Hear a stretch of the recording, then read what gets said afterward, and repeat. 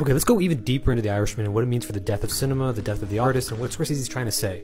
I know a lot of people are kind of like, you're in too deep, brother. You're, you're going down the rabbit hole. Fair enough, but here's the thing Scorsese has said time and time again the importance of film language, film grammar, how to read it. I think you really need to know how ideas and emotions are expressed through a visual form. At the same time, the respect for the, for the language of cinema itself, the history should be taught and the visual literacy should be taught because there are others who are not going to be able to do that. Because there's not just one moment that encapsulates kind of the theme of the death of cinema and the death of art or the artist. There's many scattered throughout the film, and to actually read this film properly, you really have to know the work of Ingmar Bergman. Uh, Scorsese was a huge fan of Bergman. Every time a Bergman film came out, which was very frequent, you knew that there was another level you had to reach to with him where he was going to take you. He may leave you behind a little, a lot maybe, but you knew that there was something special that you were going to see. To understand The Irishman's in context with the medium and, and the death of art, look no further than the structure. The structure is identical to Ingmar Bergman's